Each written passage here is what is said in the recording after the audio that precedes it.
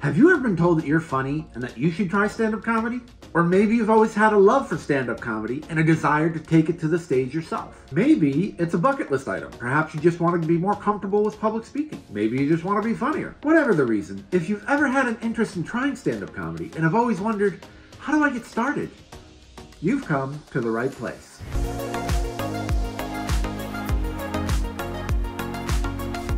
Hello and welcome to the Basics of Stand-Up Comedy video series. My name is Brian April.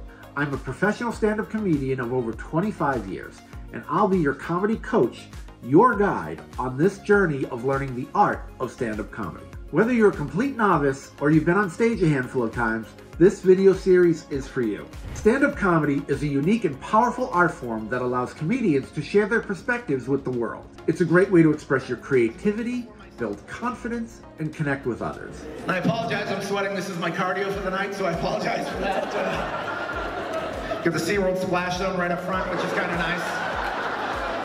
Whether you're looking to perform professionally or just for fun, stand-up comedy can be a rewarding and fulfilling experience. This series was created with the goal of providing a comprehensive guide for aspiring comedians. My mission is to help you develop your skills, reach your full potential, and make your mark on the world of comedy. We'll cover everything from writing to performing and provide tips and techniques to help you along the way. Each episode of this series will be focused on a different aspect of stand-up comedy. We're going to explore the essentials of joke writing, building stage presence, and much, much more. Are you ready to get started on your journey of becoming a stand-up comedian? Great.